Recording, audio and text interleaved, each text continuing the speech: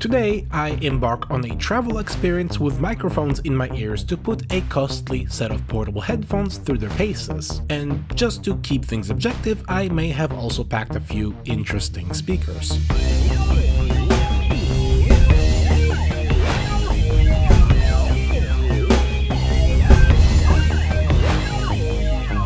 This story begins at the 3D printer, literally the night before the journey as I scramble to prototype a set of wearable microphones. The idea is to let you experience the sound from my vantage point and I've deliberately put this off until the very last minute because, as I understand it, travel is synonymous with poor time management. Hey, we've got sound.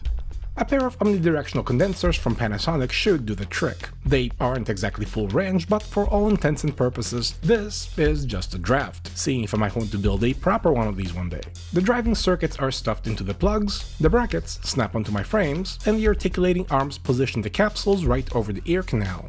Ladies and gentlemen, mostly gentlemen, I give you the world's cheapest binaural microphone.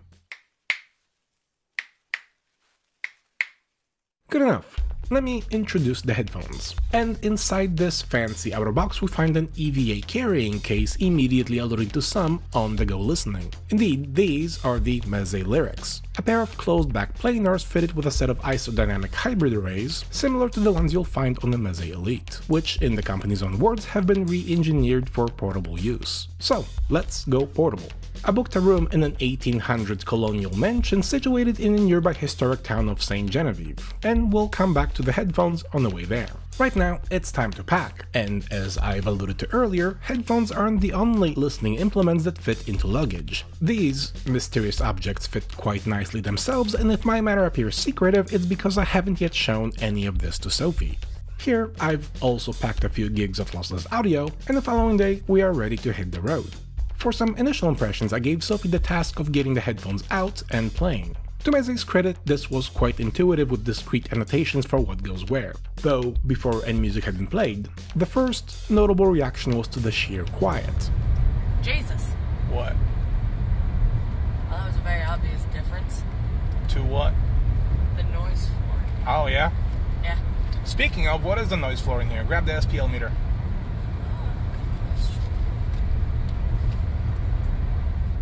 Just as a point of comparison, the THX standard specifies anywhere between 79 and 82 decibels as a reference listening volume. Meanwhile, the noise inside this vehicle is already within 8 or so decibels of the threshold, inadvertently reducing the dynamic range, the same way ambient light reduces the contrast of a projected image. But with the headphones rejecting nearly 22 decibels of that noise, listening on the road or even while flying becomes a possibility. Though when I prompted Sophie to actually play some music, right away things got a bit fidgety.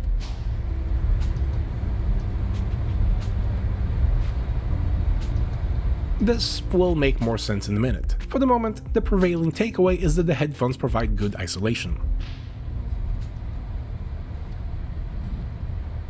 Oh, wow, you can hear the difference. Yeah? Yeah.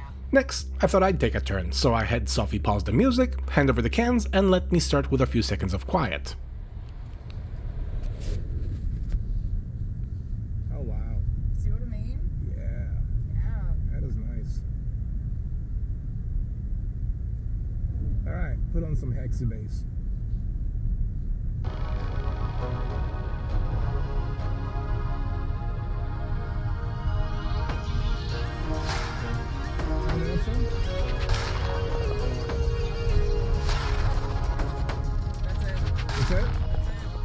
Noise isolation aside, it became quite obvious that a cell phone would not drive these headphones. Not for a road trip anyhow. More immediately though, my attention was drawn to the right channel being considerably louder than the left, even after we swapped the individual cables. This, however, would be a concern for later as we've just gotten into town. So this is St. Genevieve. It's downtown St. John. Beautiful. Is it? I think so, anyways. It's neat. Mm-hmm. Reminds me of Bisbee, Yes. minus the elevation Only changes. much older. So, here's the place, and we have the upstairs, complete with the one window. The one. The one. It's good. I like the cozy feel and the acoustics of a slanted ceiling. With the car unpacked, everything made its way up, and wasting no further daylight, we set out to find a noisy venue. Alright, 100% tourist mode. And not even a minute later, Hi. Hello. Anyhow, the walk proved informative as a way to establish that the headphones sit well for carrying around the neck, and connecting them to a device can be done mid-stride, all while navigating around telephone poles. But no stationary obstacle holds a candle to this next challenge, the Anvil Saloon and Restaurant. Granted, you wouldn't actually wear headphones to a dining experience, but the venue is lively with sound which makes for an imposing noise floor. So if you were inclined to check out from a verbal exchange happening directly in front of you, here's roughly what that might sound like. I wanted to get a French dip. Fries or a different size? Uh, fries, please.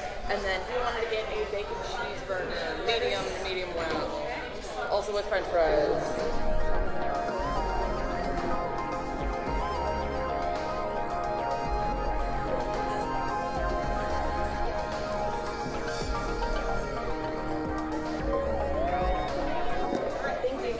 Yeah, I didn't hear no what you said.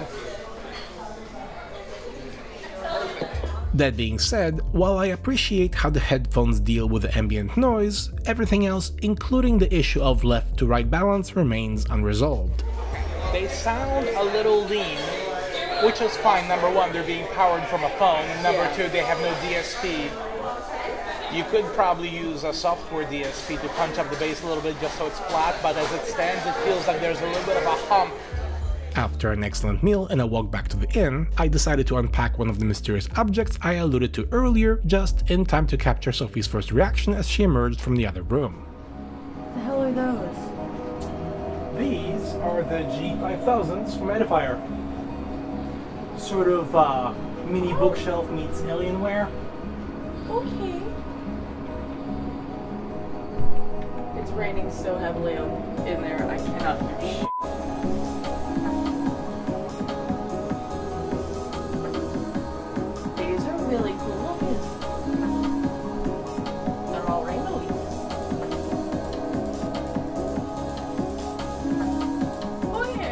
Needless to say, all the flashy RGB stuff aside, the G5000s are a good contender to a premium set of headphones specifically in terms of their performance to portability ratio. For all intents and purposes, this is about the biggest thing that isn't a set of headphones that I would still consider packing for a quality near-field experience on the go. But for now, let's return to the Lirics which I still haven't ran balanced, so here's another item from the luggage.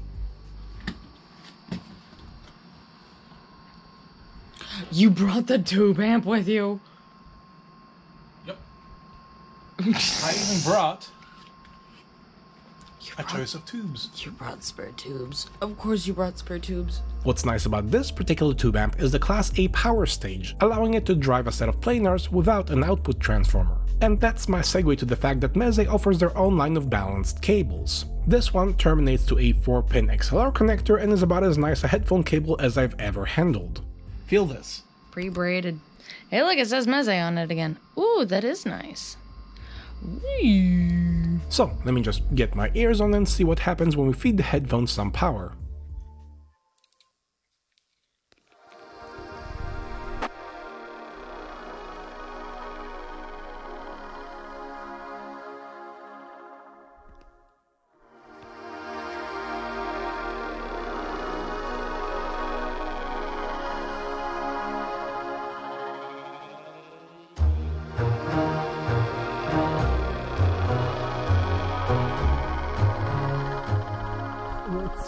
Interesting is the panning notwithstanding, these are almost perfect response wise. Like, I don't I don't think I would have to EQ these much at all.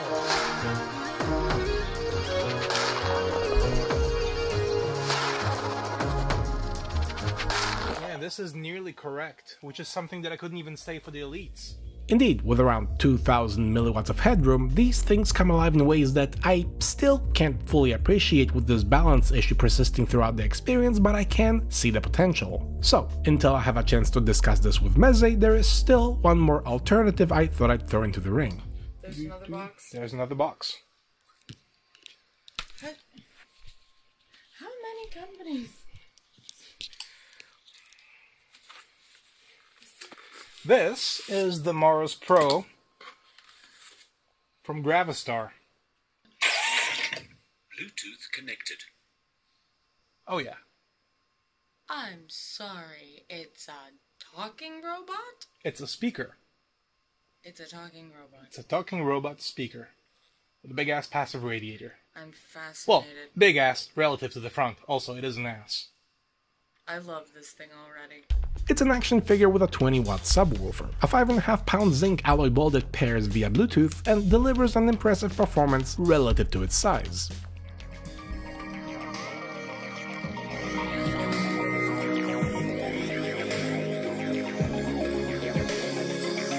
So cute. I love So, which is bigger, really? Uh, I would assume mass-wise this would be bigger. All things considered, the difference in the amount of space that each of these takes up in the luggage is negligible. Meanwhile, what the Mars Pro lacks in bandwidth, it makes up for in a hands-on experience.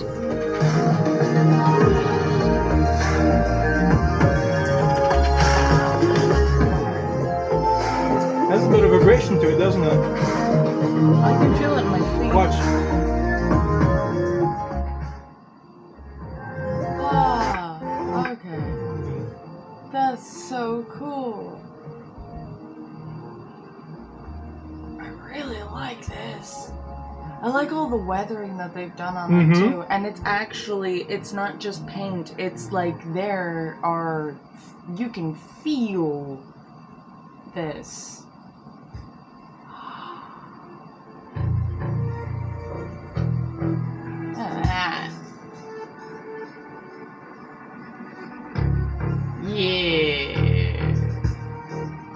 Probably not gonna be able to see that in there, but when it punches,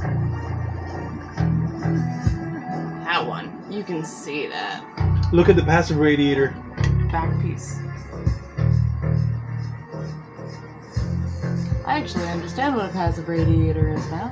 In the end, each of these portable solutions fills a slightly different niche, and I do realize just how impractical it is to pack all this stuff for travel, we're just having a goofy weekend. But for the headphones to get their fair shake, we will need them in their factory intended condition. So, those will be headed back to Meze, and through the magic of editing, we'll try this again here in a minute.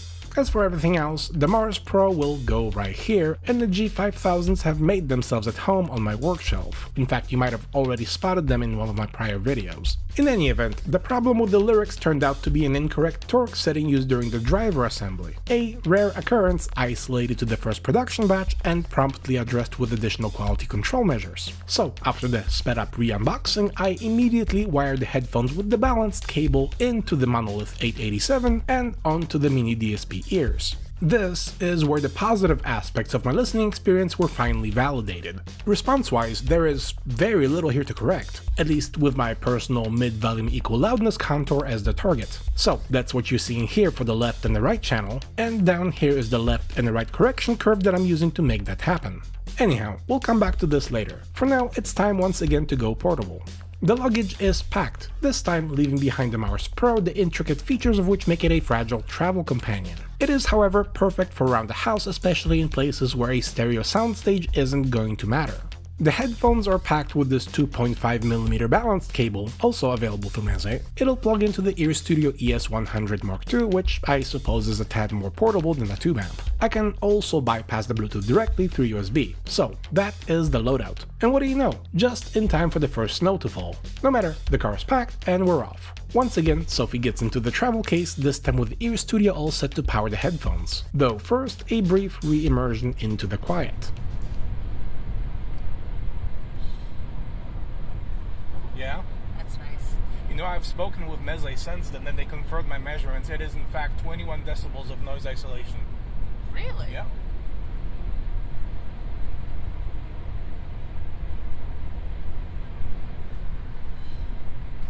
They're so comfortable. Next, it's time for a bit of music. And here, you can see the volume control getting some immediate attention, though a few miles down the road, the results are in. Wow. It's really nice. Yeah? Yeah. Alright, my turn. Once again, starting off with a bit of silence, followed by a spot of my weird music. Alright.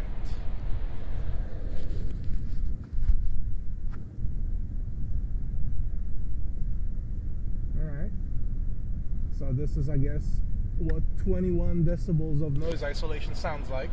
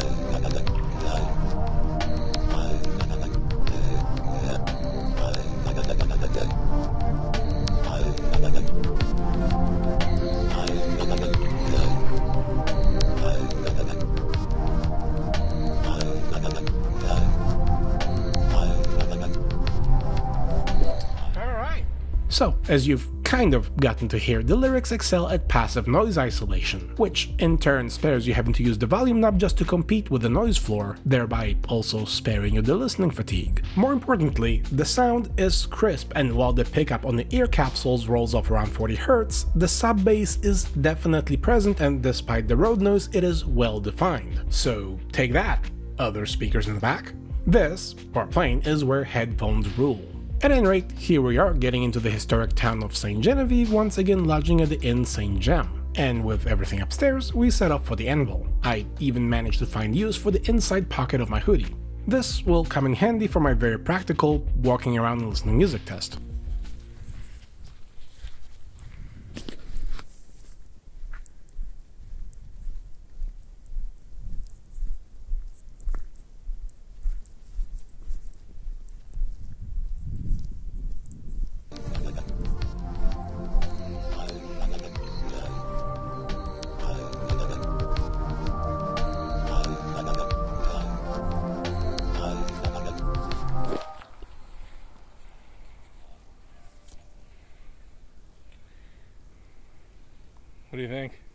Sounds really nice. And They're in warm. the cold, it definitely changes things. Indeed, for $2,000 these things had better keep your ears warm, which they do, all the while sounding pretty incredible. But for now, it's time to get in out of the cold and test these things against a nearby conversation.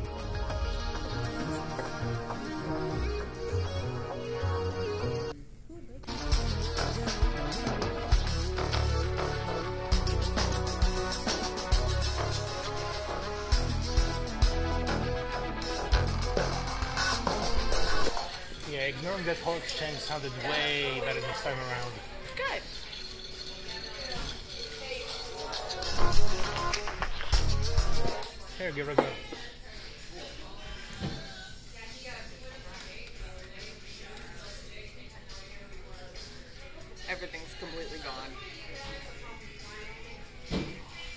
Another excellent meal later, we made our way back to the room, and with the headphone cups rotating full 360, wearing them around the neck is very comfortable. Anyhow, let's give the alternative a chance, and to their credit the G5000s set up in a matter of seconds. What's more, since we appear to have the place all to ourselves, here's an impromptu demo of how the sound carries all the way downstairs.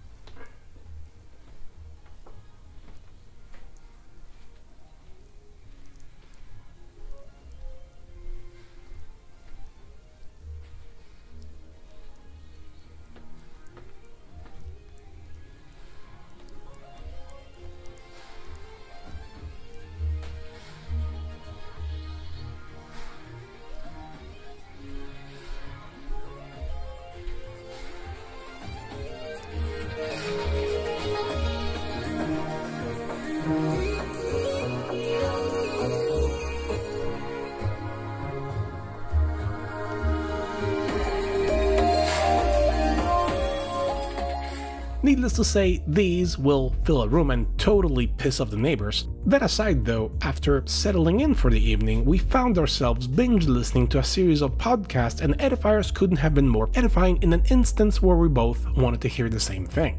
In the end though, the Lirics are the ultimate winners, playing near flat between 4 Hz and 92 kHz with virtually no harmonic distortion and minus 21 decibels of noise isolation is a traveling audiophile's dream come true. Though, just because these were built to contend with noise doesn't mean it's the only way they're useful. My favorite way of listening to these is still at home where the headphones transform the already quiet ambience into a perfect silence, allowing me to actually appreciate the insane level of clarity and control made possible the hybrid isodynamic arrays, which I would also add should be experienced with some electrical headroom. No doubt this is where Meze would point to the 30 ohm rating, making these easy to drive under most circumstances. However, I find that elevating that bottom octave for equal loudness requires a lot of power, more than I can drain from a cell phone. In fact, more than I can supply from this portable amp. So, after that entire experience, I find myself with the headphones plugged right back into the monolith with the DSP running my custom correction profile.